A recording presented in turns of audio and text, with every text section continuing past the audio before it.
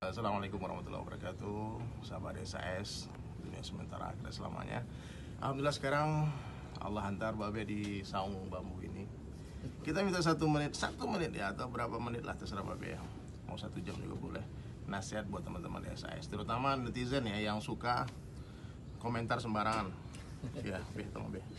Dikit Be. Ini bahayanya nih eh saya kenyang banget di netizen tuh dikatain, dihina, nggak ada sedikit pun rasa kesel atau marah nggak ada sama sekali.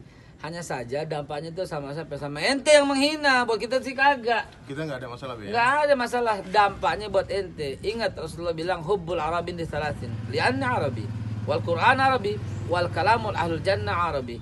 Dengan demikian wajib kita mencintai Rasulullah SAW karena tiga kata Nabi karena aku bangsa Arab kata Nabi karena Quran bahasa Arab dan perkataan ahli surga itu bahasa Arab Allah Akbar karena itu teman-teman sekalian hindari dalam rangka cacian memaki hindari.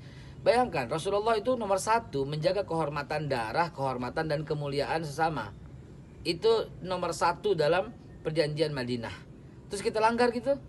Dakwah Nabi khutbah wada nomor satu. Wajib kita saling menjaga darah kehormatan dan kemuliaan. Lantum menghinakan dengan memaki-maki saudaramu yang paling menyakitkan itu adalah memaki-maki dengan cara-cara yang suku. Ente yang berkata kadrun kadal gurun.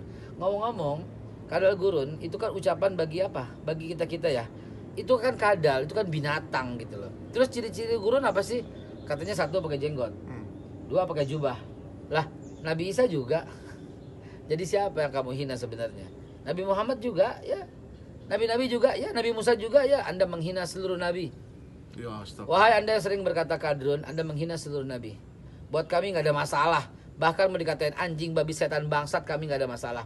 Tapi dampaknya, tunggu sebentar lagi anda akan merasakan dampaknya.